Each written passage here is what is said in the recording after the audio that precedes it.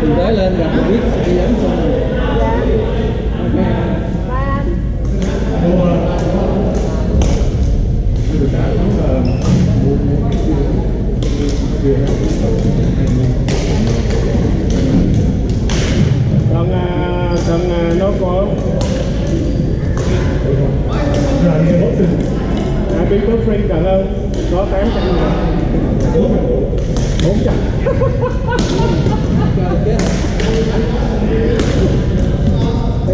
É,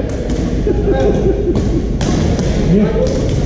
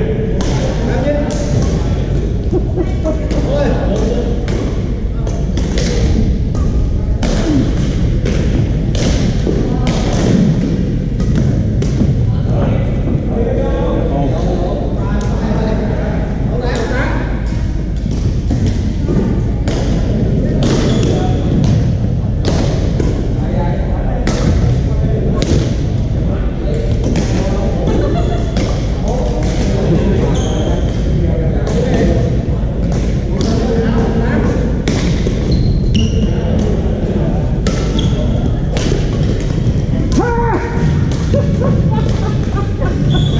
you.